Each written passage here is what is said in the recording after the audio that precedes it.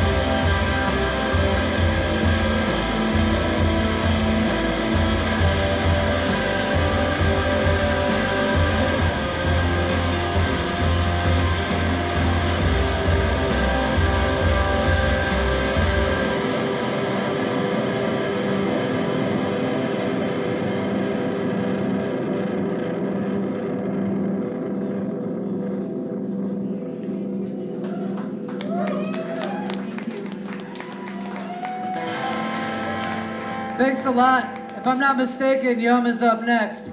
Everybody have fun tonight.